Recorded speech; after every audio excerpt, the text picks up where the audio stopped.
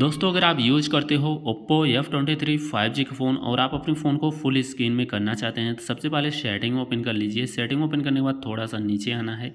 नीचे आने के बाद एक ऑप्शन मिलेगा कन्वेंस टूल का। आपको कन्वेंस टूल के ऑप्शन पर क्लिक करना है। जिससे कन्वेंस टूल के ऑप्शन पर आप लोग क्लिक करते हो, यहाँ पे एक ऑप्शन मिलता है नेविगेशन बटन का। आपको नेविगेशन बटन के ऑप्शन पर क्लिक करना है। अगर ये ऑप्शन नहीं शो होता तो आप अपनी सेटिंग में नेविगेशन लिख के सर्च भी कर सकते हो।